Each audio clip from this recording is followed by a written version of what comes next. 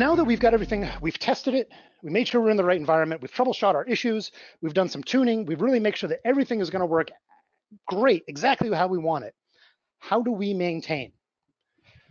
So we've got things like the report manager, uh, which Paul Martell did a great webinar on. You can see that at our YouTube channel.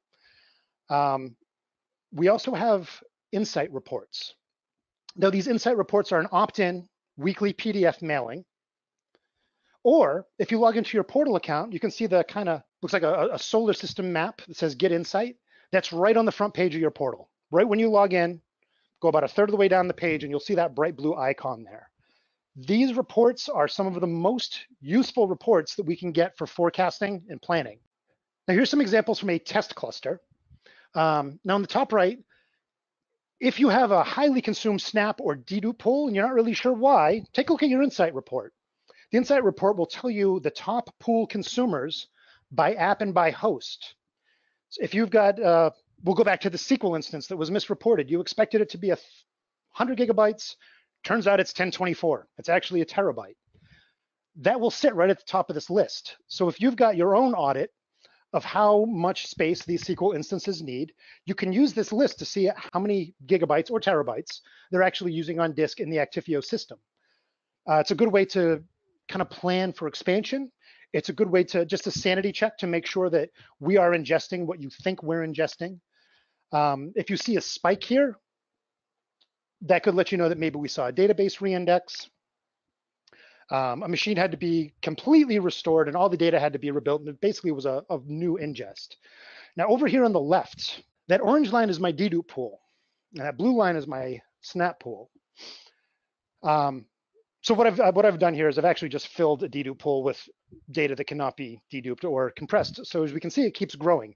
Um, and I did this for a purpose. So we can see each one of these vertical lines represents 30 days. So in 30 days, our dedupe pool went up about 20 terabytes. Now I've looked at hundreds of these reports over the years, and I can consistently tell you exactly when that pool is gonna fill. I can get it right down to the week. And so can you. Uh, if we were to take a ruler and lay it down on the beginning and end point of this plotted line on this graph, it's going to intersect at a date down the road. Now I can tell you in this case, this cluster will be completely full by the second week of April. And that's okay because we've looked at it in the third week of March. We've still got three weeks to add disk. We're not in trouble. We're okay. Uh, so I would really, like I said, these come out weekly. I'd look at them once a week uh, because they will, you'll see patterns like this. You'll see trends. Um, and it really, it lets you know that you are pushing enough work to get all the value out of the appliance, but not pushing so much that it's gonna cause problems. I'll show you that here. So on the left, we've got a, a slightly longer pool history here. And as we can see, we're, we're using a lot of space, but am I worried? No, I'm not worried. Why am I not worried? Because I can, I can track the storage trend. We can see that, that beautiful sawtooth pattern. We see applications come in, they hit their one week retention, and then they get expired out. And on the dedupe side, we see data come in, those little spikes that you see, that's the moments before a GC and a sweep runs and you see the backside of that slope where it drops down. It almost looks like an EKG pattern. That is after the GC and sweep runs. Now, the reason it doesn't drop straight down and it kind of comes off as an angle is because you'll actually reclaim space as sweep is running. Uh, you reclaim most of the space that you're going to get in the first 50%. Uh, we don't make you wait until sweep is 100% done and then just give you it all back in one package. We'll give you back gigabytes at a time as we're going through and cleaning things up. But using this chart on the left, I can kind of, again, just drop a ruler across those peaks. And the last report here is March 1st. Uh, I happen to know how big this pool is. This pool is going to be full on about April 8th. Um, now, wouldn't it be great when you're doing uh, your, your, budgets for the quarter, you're doing your forecasting, your storage, storage expansion, if you could walk in to your manager and say, I'm okay until April 1st, However, sometime in the next eight days, the system is going to reach 100% consumption and we need to get disk. Let's get that disk today. Let's never let it get to that point. And using these insight reports, you can get a very accurate, accountable storage consumption trend so that you're able to proactively add storage, add space, make the adjustments needed. maybe you have two skies.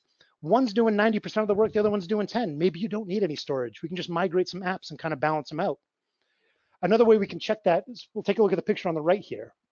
Ensure Sky is processing enough jobs and track you for expansion. Now, what we're seeing here is slot consumption.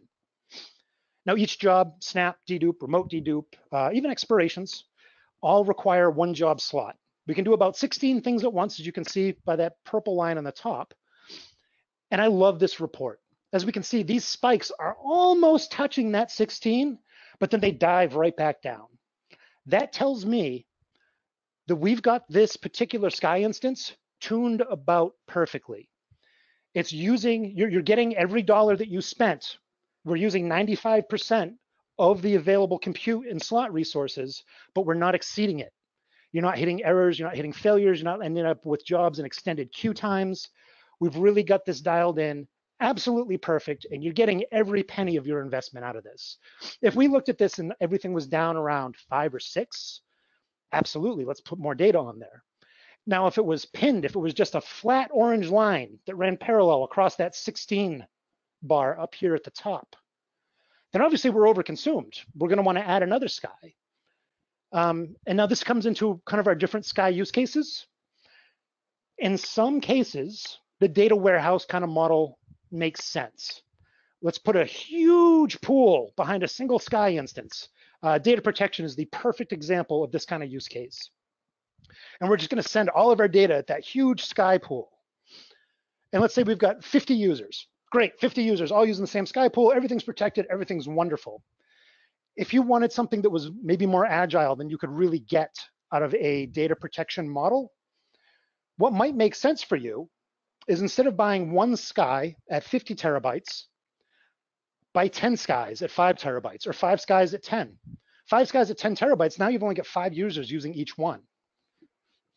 And so when you look at these charts in the insight report, if you're really pinned out, you maybe maybe the answer is not add storage.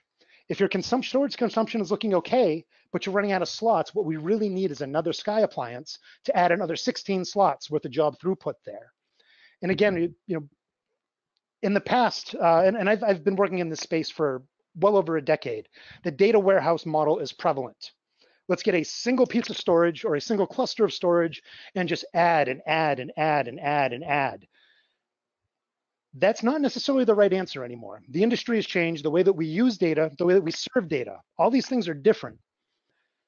And with a virtual appliance, Sky doesn't take any room in the rack. We don't have to worry about whether we've got the cooling for it. We don't have to worry about drops for electrical power. All we need to do is carve out a VM.